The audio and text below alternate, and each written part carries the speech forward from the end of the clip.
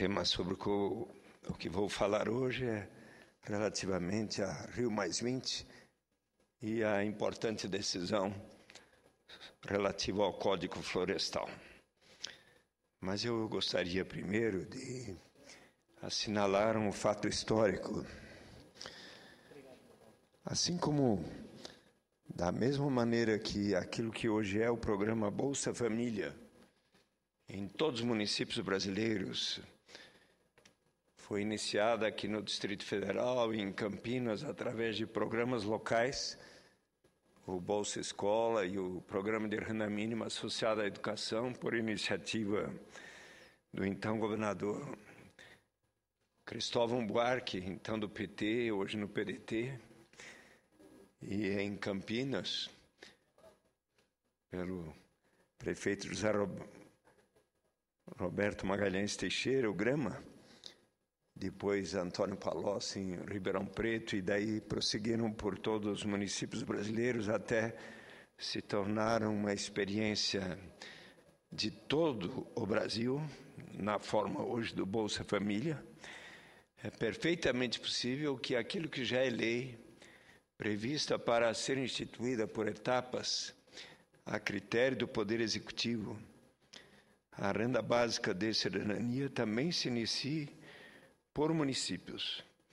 E eu quero aqui assinalar que, como o prefeito José Augusto Guarneri Pereira, de Santo Antônio do Pinhal, encaminhou lei neste sentido para a Câmara Municipal, e lá, por 9 a 0, todos os vereadores aprovaram, e ele sancionou a lei em 12 de novembro de 2009 na sexta-feira anterior ao carnaval, neste ano, em fevereiro, ele estabeleceu os decretos relativos ao que está previsto na lei, a formação do Fundo Municipal e do Conselho Municipal da Renda Básica de Cidadania. O que eu quero anunciar é que nesta, neste sábado, às 14 horas, haverá a primeira reunião do Conselho Municipal do, da Renda Básica de Cidadania de Santo Antônio do Pinhal. Eu quero saudar e cumprimentar o prefeito José. Muito obrigado, Zezinho. José Augusto Guarneri Pereira e todos os componentes do Conselho Municipal. A reunião vai vai ter como pauta a leitura do decreto que regulamenta o Conselho Municipal, a apresentação dos membros do Conselho, a eleição do presidente e do vice-presidente, a indicação pelo presidente eleito do secretário executivo, a apresentação da proposta para viabilizar a implantação, mesmo que por etapas, da renda básica de cidadania, pela professora Maria Marina Nóbrega, e, e eu, inclusive, tomei a iniciativa de convidar os alunos da Escola de Administração de Empresa e Administração Pública e de Economia da FGV, da minha turma, que normalmente temos aula no sábado, mas no, na sexta-feira, mas neste de tarde, mas neste sábado nós vamos passar boa parte do dia em Santo Antônio do Pinhal, convidados que fomos para assistir essa primeira reunião histórica, que terá a presença do prefeito, dos seus secretários municipais e dos representantes da sociedade civil. Eu gostaria também de assinalar a presença na tribuna de honra do senhor Carlos Rotermund, da Fundação Carlos Rotermund, e da senhora Lucimara Galhardi, presidente do Instituto Pro Brasil, e que vem aqui dialogar sobre a iniciativa popular, um projeto de lei de iniciativa popular sobre a casa própria, que vem já tendo uma experiência no sentido de se promover oportunidades de as pessoas terem acesso a uma forma de financiamento com taxa de juros praticamente zero, para adquirir a sua própria casa própria. Sejam bem-vindos. Mas sobre a Rio mais 20, o Código Florestal, senhor presidente, agora que a China deve alcançar um produto interno bruto de 7,7 trilhões de dólares, conforme o valor econômico de 25 de abril, a angústia que nos aperta a alma piorou muito. Em 2008, o importante ecólogo Lester Brown disse à Folha de São Paulo que se a China chegasse a ter o mesmo PIB dos Estados Unidos, seriam precisas três terras para serem exploradas a fim de chegar a esse tipo de consumo. E ainda hoje, na audiência com o ministro Antônio Patriota das Relações Exteriores, ele mencionou que a expectativa que se tem é que a China, a China alcance o valor do produto interno bruto dos Estados Unidos dentro de 25 anos aproximadamente. No momento já estão sendo usadas, segundo Leonardo Boff, duas terras. Isso é, nosso planeta já está sendo explorado no dobro daquilo que ele pode dar. E a situação piora se os países pobres, como os da África, por exemplo, continuarem a explorar os recursos naturais para fazer deles carvão para seus fogões ou comida para sua mesa. Já há uma grande crise de fome na África e o sobreconsumo dos ricos está aumentando. De acordo com a pesquisa do Royal Society da Inglaterra, publicada pelo jornal Globo, dia 26 último, uma criança de uma nação rica, por exemplo, consome 50 vezes mais água do que a de um país pobre. De todo o estoque de água do mundo, apenas 2,5% são potáveis. Desse contingente, 69% estão congelados nas regiões polares e 30% misturados no solo ou presos em aquíferos ainda inacessíveis para o homem. O resto, 140 mil quilômetros cúbicos, está distribuída em lagos, rios e reservatórios, entre outros locais. Além disso, é mal dividido. Estima-se que em 2025, 1,8 bilhão de pessoas viverão em áreas com severa escassez de água. Parte da carência de água deve-se às mudanças climáticas, fenômeno regido por um grupo com cerca de 20 países, entre desenvolvidos e emergentes a emissão de gases estufa de cada um deles supera em mais de 50 vezes uma de uma nação pobre. O crescimento populacional é um problema inevitável nas próximas décadas. Apesar do declínio da fertilidade, o planeta ainda aumenta em 80 milhões de pessoas por ano, especialmente nas cidades e nos países em desenvolvimento. Sustentar essa multidão significou, por exemplo, quadruplicar a produção de cobre e chumbo entre 1960 e 2007. A exploração de tântalo e nióbio, minerais ligados a dispositivos tecnológicos, aumentou em 77 vezes. Isso nos faz lembrar a incrível responsabilidade que o Brasil tem no momento sobre o futuro do mundo, tendo em vista o Código Florestal que está, nas mãos da presidenta Dilma.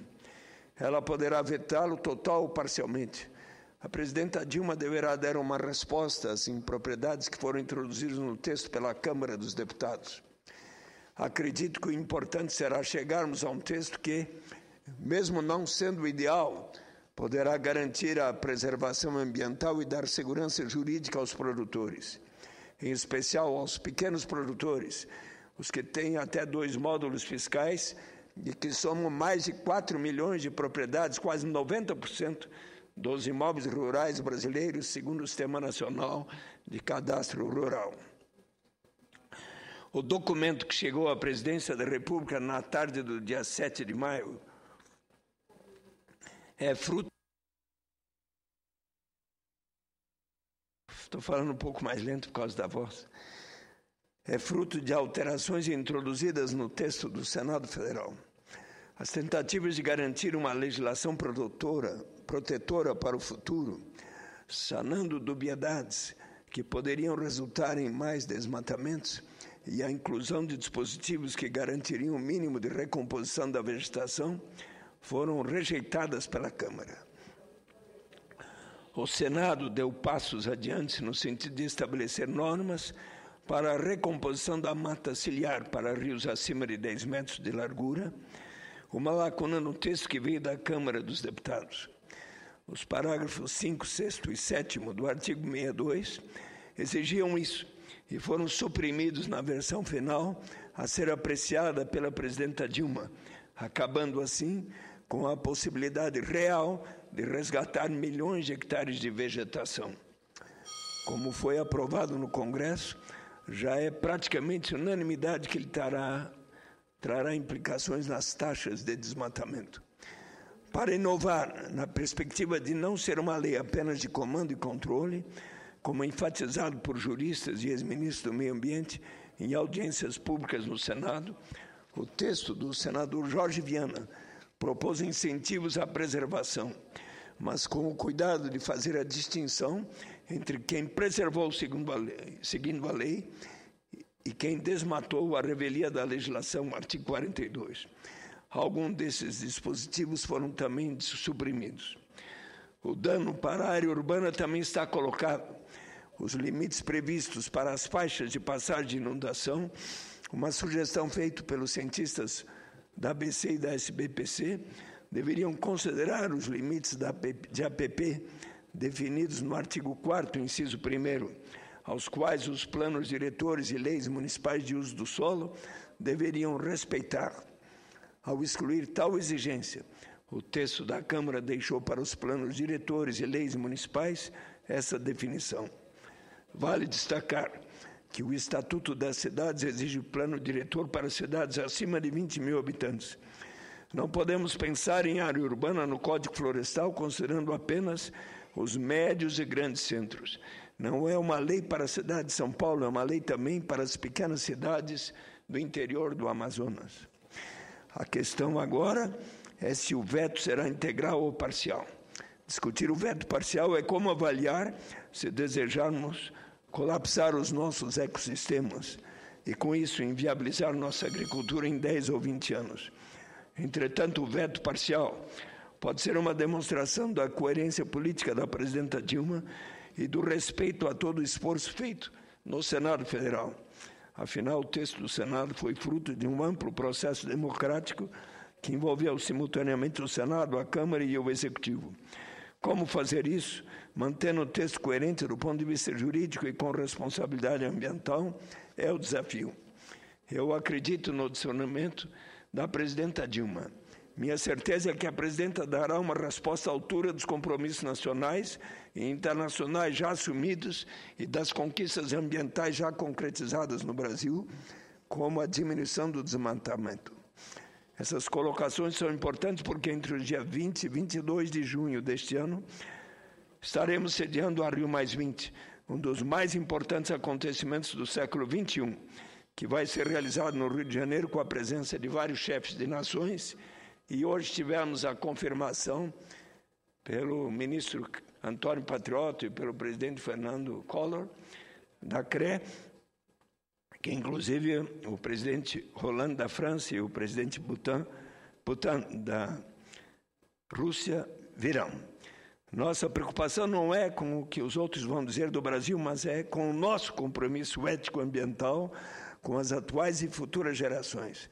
Nesse sentido, devemos resgatar os princípios da Carta da Terra e fazer da nossa atuação parlamentar uma resposta a esses princípios, conforme foi lembrado pelo ministro Herman Benjamin do Superior Tribunal de Justiça, Leonardo Boff, durante o colóquio internacional realizado esta semana na Comissão do Meio Ambiente.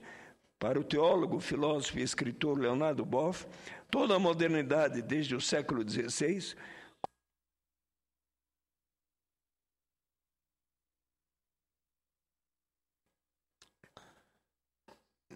toda a modernidade desde o século XVI coloca o ser humano acima da natureza e a coloca como algo a ser dominado. A Carta da Terra é importante porque traz um novo encantamento que nos faz lembrar que precisamos ter mínimos princípios para a sustentabilidade e não princípios mínimos de sustentabilidade. Muito obrigado pela tolerância, presidente Valdemir.